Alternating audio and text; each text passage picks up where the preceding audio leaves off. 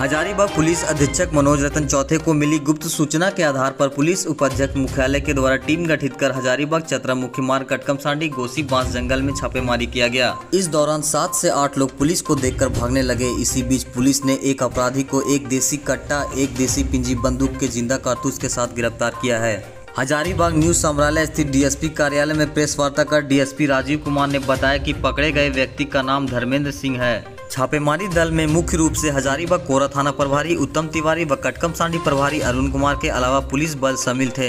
हजारीबाग से bureau report, संध्या हिंदी खबर।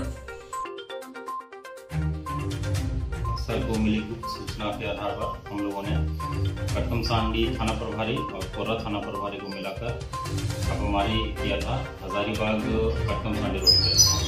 हमें सूचना मिली थी कि कुछ बंदे खरीद बिक्री करने वाले हैं, इस उद्देश्य से पुल के नीचे बैठे हुए थे। जब छापेमारी दल ने पकड़ने के लिए घेराबंदी किया तो सभी लोग पुलिस को आता देख भाग गए।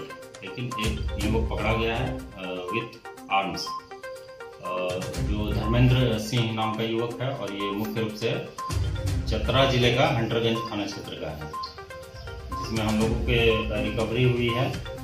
एक देसी कट्टा, देसी पीजी बंदूक, एक काले रंग का एक वीवो कंपनी का एंड्रॉयड मोबाइल और तीन आठ एम की ज़िंदा गोली तीन नाइन एम की ज़िंदा गोली।